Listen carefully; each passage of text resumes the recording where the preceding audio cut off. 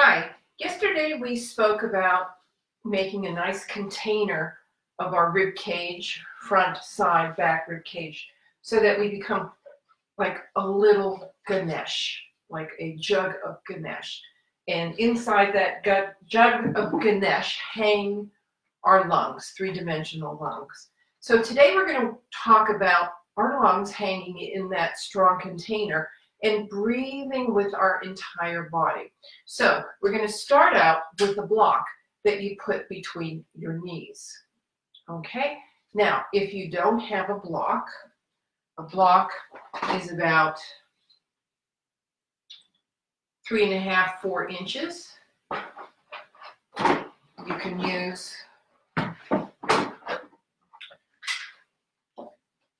something that's firm, a big one that you haven't used already. I'm going to do a Julia Child, throw it away. Um, we all have wipes, okay? A small box. A book. Okay. Um, conversely, you can use two pillows. Okay, just so that you can grip something firmly between your knees so that you have a sense of your legs. So that's why we're using the block and we're sitting on the edge of the chair. Okay, so let me show you sideways. So without a block, it's easy to breathe and let the shoulders slump with the block, you're activating the quads, you're activating this energy channel that comes from your hips up into your behind your eyes and inner ear. Okay? So without the block, it's easy to slump. So we're using the block. So squeeze the block between your knees. Look down at your feet. Toes are long, pointed forward.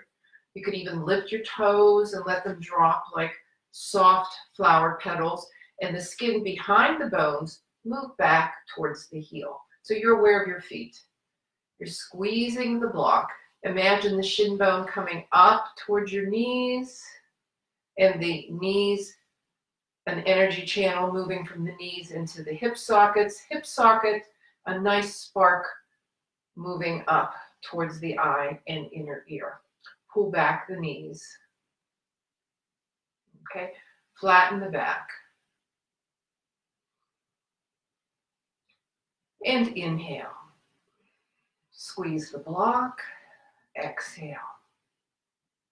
So it's as if you're in a container. This time the container is surrounds you like a big tube.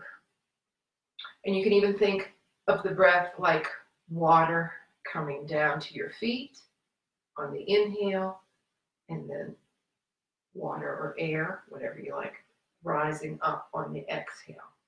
Okay, so squeeze the block, find your feet. So feet, as much real estate as possible on the soles of the feet so you can feel them. You can feel your shins, you can feel your knees. And when you squeeze the block, you have the sensation of the lower abs working, supporting the torso, letting the shoulders relax. Okay, and you can bend your chin in slightly. Inhale. I'm aware of my body. Exhale. Aware of the body. Inhale. Exhale. Inhale, nice, soft, gentle inhales. Exhale. Inhale. Exhale. And slowly open the eyes.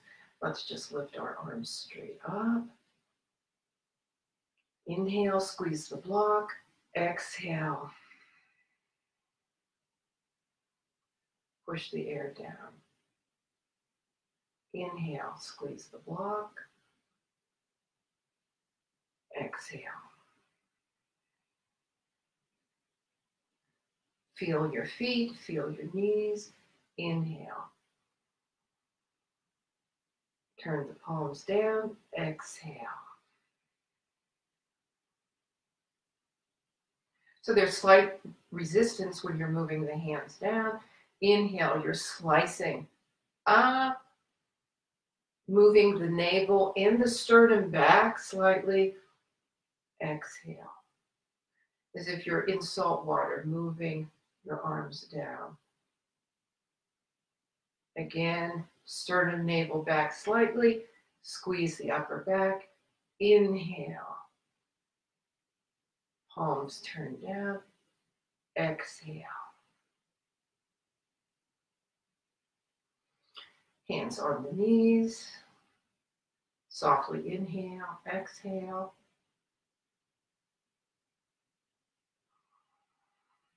And just be aware of the entire body. Going back to our lesson, the lungs hanging within the container of the rib and the breath moving through the entire body.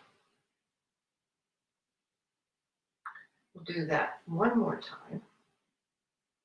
Squeeze the block, widen the feet, navel slightly back, sternum slightly back.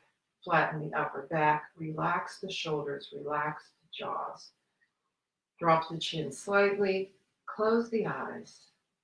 Inhale. Exhale. Inhale. Exhale. Inhale. Exhale. Inhale. Exhale. And one more time. Inhale. Exhale. And slowly open your eyes. You can practice this on your own.